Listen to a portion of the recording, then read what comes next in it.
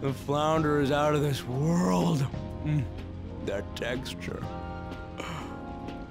Uh, I don't see any prices listed here. It's called market price. Don't worry about it, we got the cash. So good. Hey, is the fatty tuna ready yet? Hold your horses and don't talk! By the way, is Boss really the kind of person who would abuse someone? That again? I can't get it off my mind. Especially if it means he could be taken to court. What kind of person is he? Do you truly believe he'd do such a thing?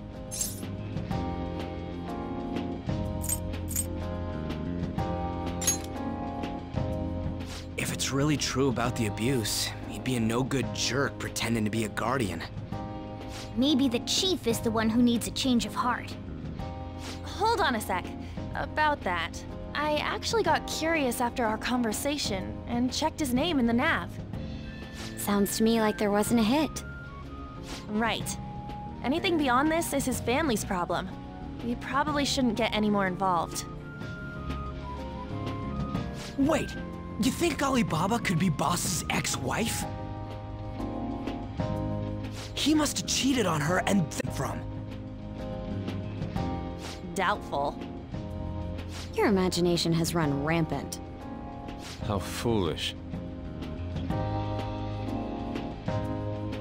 Hmm.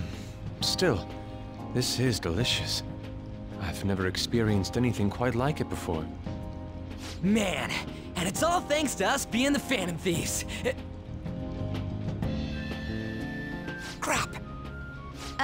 Um, f f fan fantastic! This sushi is delicious! Y yeah!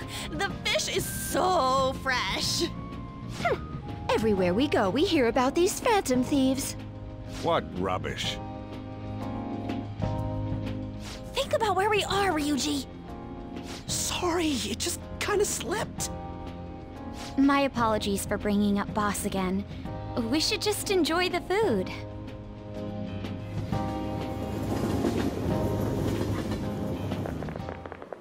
Nijima-san, what are you doing here? Akechi-kun, Akechi? You're the ones from the TV station. Could it be that you're friends of Nijima-san? Do you know this guy? It's nice to meet you. My name is Akechi. Glad to make your acquaintance, Yusuke Kitagawa. How do you know my name? Well, because I'm a psychic, of course. I'm only joking. In truth, I'm a rookie detective. You're a former pupil of Madarame, right? Just recently joined the investigation team looking into the Phantom Thieves. Did you see that Medjed has declared war on them? War? Their website was updated just a moment ago. For real? Ah, English again. Wait, what? What's it say? Huh. Why do you seem so agitated? Oh, um... She's, uh, a huge fan of the Phantom Thieves. Uh, a total nutjob for him. Hmm. I don't know how wise it is to be a fan of groups like them. what is with these comments? My apologies. I didn't mean to butt into your conversation, but I must say, this is an interesting group. Prosecutor Nijima's sister, an ex-pupil of Madarame, and a few Shujin Academy students. It seems you're all connected to the Phantom Thieves. Perhaps you have better intel than I do. Ah, yes. I wanted to ask you something. Regarding this whole Medjed commotion, if you were one of the Phantom Thieves, what would you do?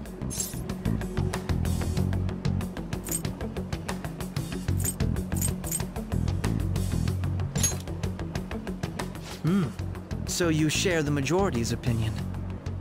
Sorry to disappoint, but we're just normal high school kids. If anything, we want to hear what you gotta say, Mr. Detective. My profiling of the Phantom Thieves has led me to believe they are a group of juveniles. They have a relative amount of a hideout to slip away to. Furthermore, considering Kamoshida was their first target, it seems they began activity around April. In a way, all I've just said about the Phantom Thieves coincides with the group you have here. What? You gonna report us? I didn't say I was being suspicious of you.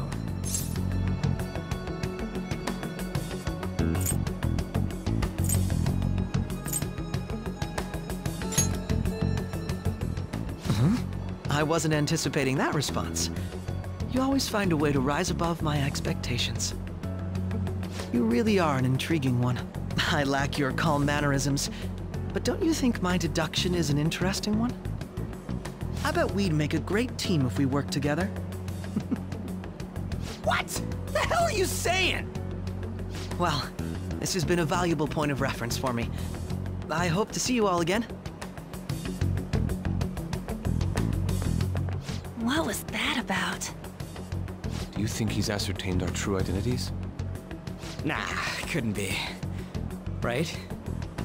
I'd like to say that it's simply us overthinking this, but it may be best to be cautious from now on. We shouldn't forget that Alibaba was able to discover who we are. True, but it's not as though he had tangible evidence to prove that discovery. Just keep acting normally. More importantly, things are getting serious with Medjed. Oh yeah, what did they write? Here, I'll read it. We are people of Japan, and their belief in the Phantom Thieves' false justice. Hence, we shall proceed with our plan to cleanse Japan. This process will commence on August 21st. As a result, the Japanese economy shall suffer devastating damages. For real? Keep going. However, we are magnanimous. We will give the Phantom Thieves one final opportunity to repent. As proof of this repentance, we demand that they reveal their identities to the public. We will attack if these demands remain unmet. The future of Japan rests with the Phantom Thieves. We are Medjed, we are unseen, we will eliminate evil. That's what it says. Mm, sounds bad. In other words, if we don't unmask ourselves, Medjed will attack Japan, correct? And it seems they are quite the attention seekers. What are we gonna do about this? If only we could get in contact with Alibaba. Our only clues are Boss and Futaba. Anyways, it's too damn hot out here. Why don't we go to LeBlanc? We can talk more over there.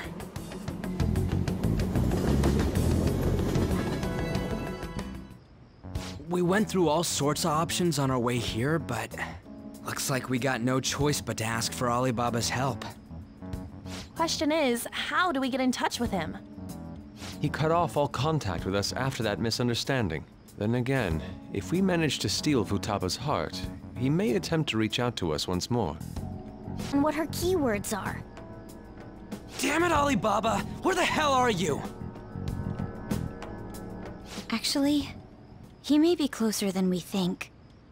Huh? Hypothetically speaking, even if we stole Futaba's heart, how would Alibaba know that the deed has been done? Would he truly be able to discern that just from cell phone messages? You mean he'd have to meet her in person? Alibaba was able to deliver the calling card here. On top of that, he can check on Futaba's condition. However, according to the circumstances he put forth, he's unable to meet with us. This leads me to believe that it would be bad for him if we were to see the two of them together. It seems to me Alibaba may in fact be Futaba herself. For real? So she's asking that we steal her own heart? Maybe she wants us to save her from the scars of her abuse. That would be hard to ask directly. I'd like to meet with Boss.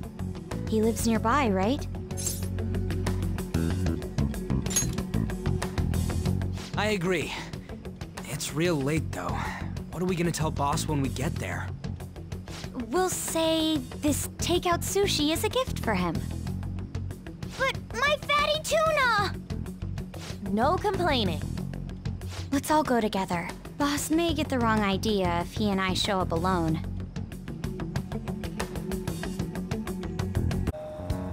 Nobody's answering. But the lights are on. Think she's napping? Even Boss would have woken up with how many times we've rung this doorbell. I would think Futaba would have answered by now if she were here too. Ah, the gate is unlocked. Dude, you can't go opening other people's stuff like that. But look, the door seems to be slightly open as well. I wonder why. That's rather careless. Whoa. It sounds like it's going to rain. We should get inside. Do you think that's okay? I don't know. Probably. My apologies, boss.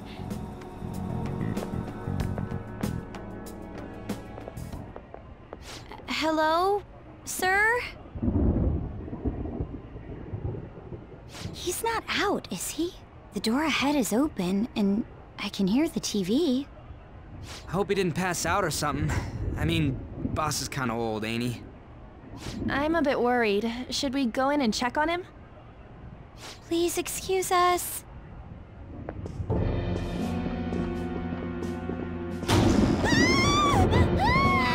Scream? What was that? How should I know? Did you hear that? Let's get out of here, please! Can we just go?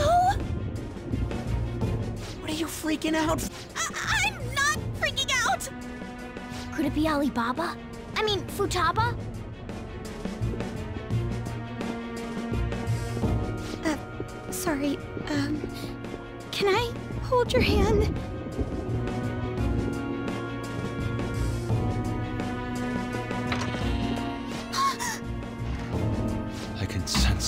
Who is it?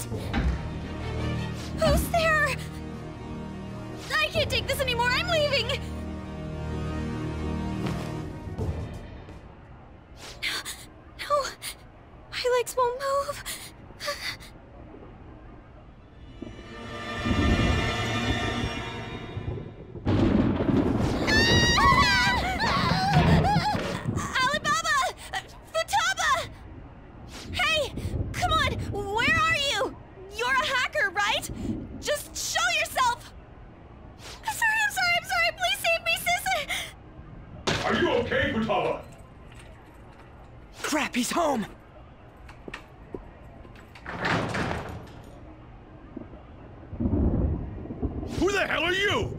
Don't move! You hear me?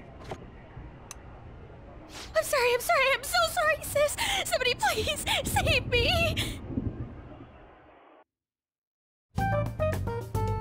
You? What are you doing in my house? You're. Oh, uh, good. Uh, We uh, we didn't mean to intrude. Nijima-san. Wait, are- you two dating? We're just friends. Friends nowadays get that close to each other? But that's not it. This, um, uh, things happened and. You kids are here too? Um, we brought you some sushi, but nobody answered when we rang the bell. The door was unlocked too. We could hear the TV though, so we got worried you might have passed out or something. The door was unlocked? Yes.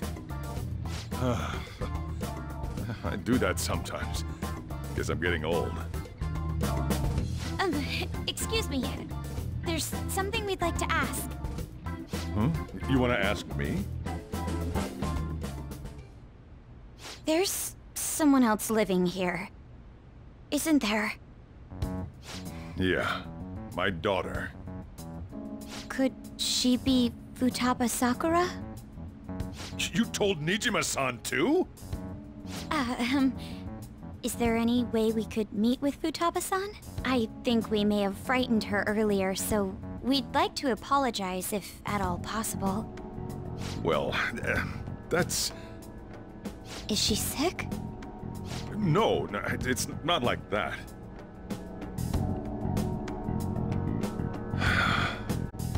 Don't want you all getting the wrong idea.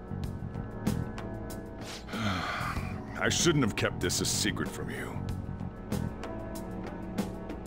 Let's talk at my shop. She'll hear us if we stay here. Now, where do I start? Futaba's mother and I knew each other long before Futaba was born. Her mother was a bit of a weird one, but we got along well for some reason. She was sharp-witted, somewhat stern, a little socially inept, but always carefree. She truly was a great woman. I see. When something piqued her interest, that'd be all she focused on. She always worked deep into the night. I thought that'd change after her kid was born. But having Futaba didn't do much. Even with that, she always took good care of her. Working and watching over a child at the same time sounds rough. I guess raising Futaba alone turned out to be tough on her in more ways than one.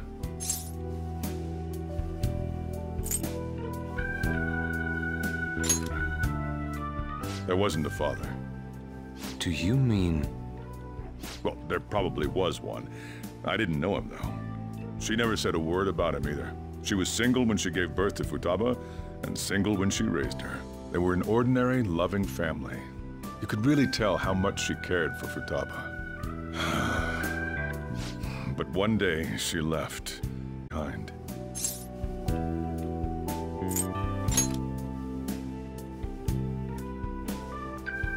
Yes, she committed suicide. Suicide?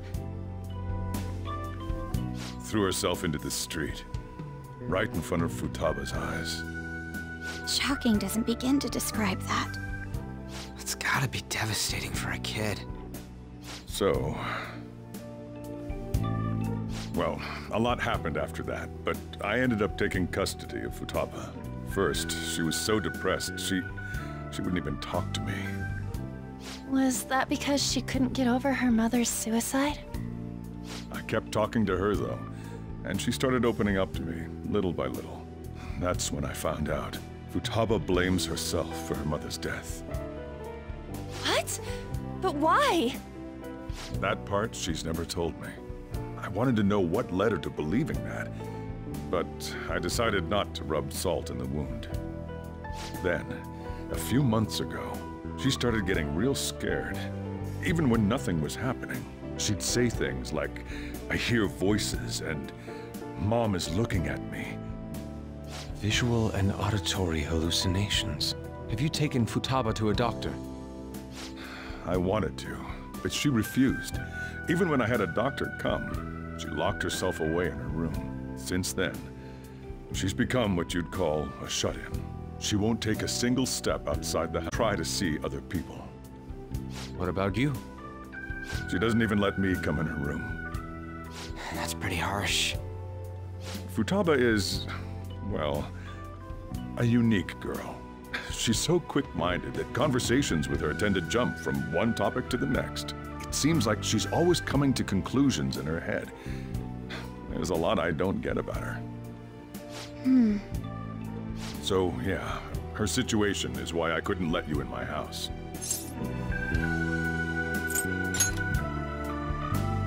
What Futaba needs is a safe place where nobody will threaten her. Somewhere she can be at ease. That's why I won't do anything she doesn't want.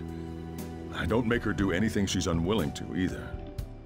And again, I know that's no way for her to live. It's all I can do, though.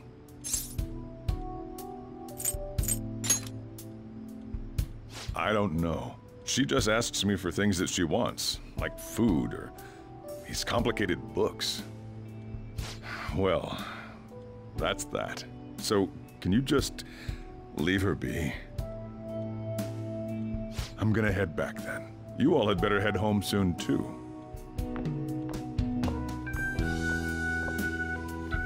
I feel awful for prying into his personal affairs. No way in hell he's abusing her. The reason why Futaba wants her heart stolen must be related to what happened to her mother. So she'd like to discard her feelings of pain, but herself. Will changing her heart really help her, though? If we can help her, we may be able to stand up to Medjed. Hold on a sec. Do we even know if she has a palace? Let's check. The Futaba Sakura that lives at Sojiro Sakura's house. Is that gonna be enough? Candidate found. What the? She's got one. So someone can have a palace even if they're not evil? Hey, Morgana. Uh, Where's Morgana? I haven't seen him for some time. So, ever since we went inside Boss's house? Somewhere around there. He'll be fine, though. He's a cat after all. The trains are gonna be shutting down for the night soon, so we should probably be heading home. We have to go to school in the morning after all. Oh, right. The urgent assembly. An assembly? What about? Shujin has been garnering a lot of attention ever since Medjed called out the Phantom Thieves. So they need to remind us not to say arbitrary stuff online and add more fuel to the fire. We gotta meet up for every goddamn little thing. Talk about a pain in the ass. I mean, it is our fault. Anyway, let's contact each other afterward.